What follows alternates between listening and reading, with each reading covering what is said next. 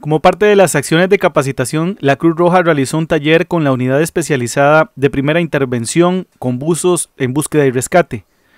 Porque la idea es, bueno, aquí tenemos buzos certificados en la institución y la idea es que ellos vayan aprendiendo nuevas tácticas con nuevos conocimientos. Obviamente contamos con la unidad especial de primera intervención, que dirigida por el compañero Minjar en San José, que es el que nos está viniendo a refrescar un poco y a darle seguimiento a nuevas tácticas que tienen a nivel de buceo en la región. La idea es darle seguimiento a nivel regional y que nuestros buzos vayan aprendiendo, ir creando nuevos buzos con ese fin.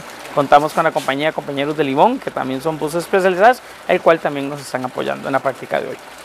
En la capacitación se prepararon para maniobras de recuperación con visibilidad cero y hacer patrones de búsqueda.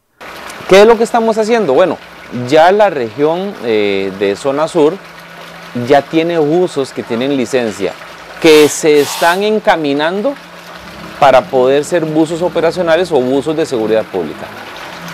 Pero tenemos una realidad actual, ¿verdad? Y es que en este momento las emergencias salen día a día y mientras ellos se logran certificar buzos de seguridad pública, necesitamos resolver, necesitamos darles a ellos herramientas porque en este momento son los respondedores que tenemos, que varios de ellos tenemos buzos de rescate, tenemos buzos avanzados, tenemos buzos con muchísimos años de experiencia.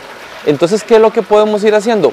Transmitir parte de esta información, realizar los entrenamientos para que ellos de una u otra forma sean no solo respondedores, sino que sean respondedores eficientes y eficaces.